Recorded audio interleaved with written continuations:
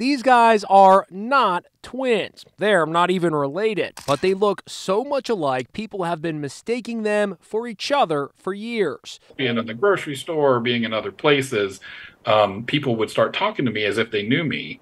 And this guy started talking to me, and I finally said, Do you think I'm Michael Malone? And he was like, You're not. It's said that we all have doppelgangers out there, someone who is not related by blood but looks just like us.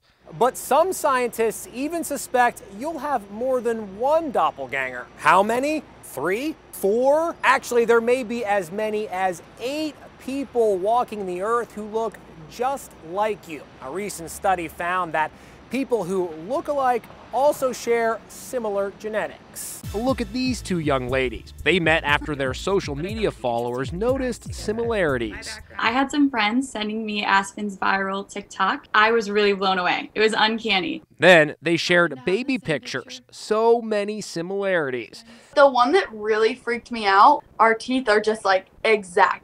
Our smiles are like identical. Like, look at our little gap thingy. Sometimes doppelgangers achieve overnight fame. Just last month, college professor Sean McArdle met his doppelganger when they swam past each other at a pool in Las Vegas. It was very surreal just seeing somebody that had the same smile as me, the same kind of eyes and build, and like like looking in the mirror. And remember these guys? The redheads not only look alike, they were both minor league baseball players.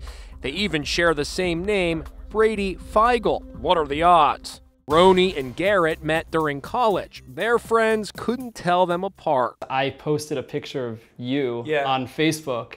You were hiking somewhere, and I said, Look at me, go hiking, traveling in this exotic place. And everyone thought it was me. So keep your eyes out. Your doppelganger is out there somewhere, and there may be more of them than you realize.